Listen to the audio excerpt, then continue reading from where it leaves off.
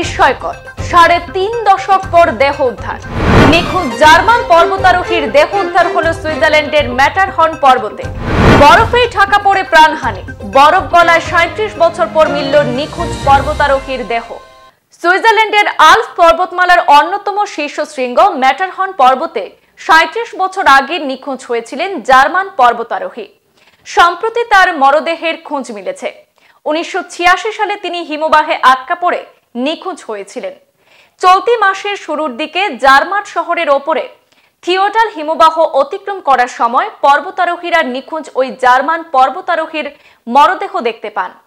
জলবায়ু পরিবর্তনের প্রভাবে আলপাইন হিমবাহ দ্রুত গলে যাওয়ায় ওই পর্বতারোহীর মরদেহ সাঁত্রিশ বছর পর বরফ থেকে বেরিয়ে আসে। প্রথমে পর্বতারোহীরা বরফের ভেতরে নিখোঁজ ওই ব্যক্তির একটি হাইকিং বুট এবং বুটে লাগানোর ক্র্যাম্পন দেখতে পান। পরে পাশেই তার মরদেহ উদ্ধার হয়। ডিএনএ পরীক্ষায় ওই মরদেহ জার্মান পর্বতারোহীর বলে চিহ্নিত হয়েছে। উনিশশো ছিয়াশি সালে তিনি পর্বতে নিখোঁজ হয়েছিলেন। সেই সময় ব্যাপক তল্লাশি এবং উদ্ধার অভিযান চালিয়েও তার কোনো হদিশ পাওয়া যায়নি। পুলিশ উদ্ধার হওয়া ওই মরদেহের নাম পরিচয় প্রকাশ করেনি। তবে পুলিশ বলেছে, উনিশশো ছিয়াশি সালে হাইকিং করার সময় তিনি নিখোঁজ হয়েছিলেন।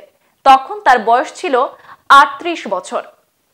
রীতিমতো বিস্ময়করভাবে দীর্ঘ সাঁত্রিশ বছর পর অক্ষত অবস্থায় দেহ উদ্ধারের ঘটনায় জার্মান পর্বতারোহীর পরিবার পরিজনরা স্বস্তি পেয়েছেন।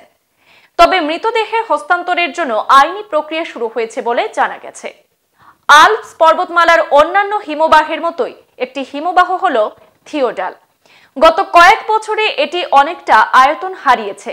বৈশ্বিক উষ্ণতা বৃদ্ধির কারণে আলপাইন বরফ ক্ষেত্রগুলি গলে যাচ্ছে।